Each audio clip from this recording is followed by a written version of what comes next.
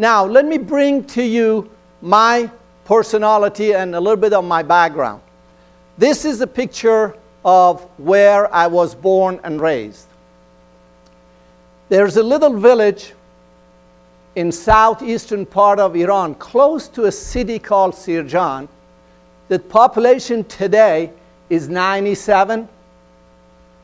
And if you Google it, it actually says 98. The reason he says 98 because my mom always puts my name in there every year on census. I kid you not. If nature had its way, I would be that guy on the top right with a load of pistachios on my back. It's a pistachio farming community. If the nature adds its way, you become a pistachio farmer or a goat herder. The bottom right is an architecture of that area. It's a cooling tower. And that bottom left, it's me at around 10 years old. Okay? Now, I had a privilege. My mom was the only woman in the village who knew how to read and write. And to calibrate you, at that time, 50% of the kids who were born, they did not see their fifth birthday. Polio, measles, chicken pox, you name it, it got them. In fact, my mom gave 12 births. Six of us survived. By birth, I'm number two. By survival, I'm number one. As I mentioned, I had a privilege, and that privilege was my mom knew how to read and write, and she was very demanding. I would work in the field alongside my mom and dad in the morning, in the evening, summertime, whenever I needed. If I didn't work, I wouldn't eat.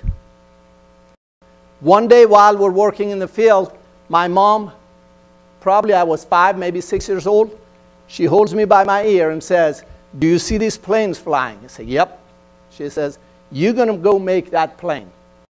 You are not becoming a pistachio farmer. You're not becoming a goat herder. And guess what? I truly believed her. So, what I did was, I worked through, got my high school diploma, worked for a couple of years to get a ticket to come to America. And when I went to tell mom that I'm going to America to make those planes, she was devastated. She says, I was kidding. I said, Mom, I was listening. Okay? And then to America I came. It was June 12, 1978 at 2 p.m. A Pan Am 747 landed in New York. I was on it. I didn't know a soul, didn't have much money, didn't speak much English. Other than that, I was doing quite well. But I had two big dreams. I wanted to go to MIT and I wanted to work for Boeing. As I stand in front of you, I have failed both of those dreams. So you're, you're listening to a failure here, okay? just to, to, to calibrate you. So I ended up coming out and looking at how the culture and the alphabet and things look like. This is a stop sign in both languages. In, in, in Western world, you write from left to right. In Middle East, you write from right to left. If you see me confusing my right and left, this is the reason, guys. Okay? It started when I landed here. But I went to Boston and I started working any jobs that I could to put myself through school. I started at the University of Massachusetts. A couple of times trying to get to MIT. Pretty soon I realized Boston was very expensive.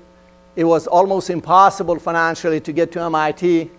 I need to find somewhere else. Old Dominion University on this side of Mississippi was the cheapest mechanical engineering school that I could find. Went there, got my bachelor's degree. Got my master's degree at the University of Cincinnati. I started looking for jobs, and I actually worked for four other companies before I came to GE. After a couple weeks, the satisfaction wasn't there, and I would quit those jobs until August of 1984 when I came to GE. This is a picture of our advanced course graduation in 1985. GE was very different than it is today. There were several significant challenges. For example, I was asked to change my name to John. They told me, and they meant well. They told me, Mohammad, you're bright, just change the damn name, you do well. I couldn't do it because it was a name that my mom and dad had given me. Finished a course, started working my way up, started as a design engineer on F-101, which, which powered the B-1 bomber. And then challenges continued. About six months into GE, I became a single dad. My son, Darius, was about two years old. I was terrified and devastated, but leaned into it. There were times that at the last minute I needed to find a babysitter so I could travel. There were times that I had to sneak the kid in so he could stay with me while I worked here. We, we didn't have the ability to work from home and the flexibility to work from home that we have today. And you can see the respectful um, gesture he's giving me when I'm trying to get, take his picture. Today, he's a plant manager in supply chain. Those early exposures actually worked well. Back to the dialogue with mom. Remember, I told you she wanted me to go make the planes? I brought her here a couple years ago in Learning Center. So I'm proud of the GE90. I'm showing her how wonderful it is. She looks at it, she says, This is not the plane. I said, Mom, without it, the planes won't fly. She says, I understand, but this is not the plane. I just want you to get that. I was like, Yeah, I do get it. and my son Darius looks at her, looks at me. He goes, I am so glad I'm not her son. And it's so true, so true. Listen, um, this has been my story. I am 100% sure you have your stories. I've been lucky People have taken risk on me. People have coached me. People have mentored me. I've been very, very lucky. Here are a few things for you, okay? Be positive. No matter how hard things get, don't become a victim. Once you get the victim mentality, you can't fight back. Number two, take on new challenges. As Henry Ford says it, if you think you can or you think you can't, usually you're right. Number three, be authentic and be resilient. Remember back to the name change? John doesn't look good on me. Okay? I kept it. Number four, listen more than you speak. My mom still tells me, you got two ears, one mouth. There's a reason for it. Listen twice, speak once. Take jobs most people won't.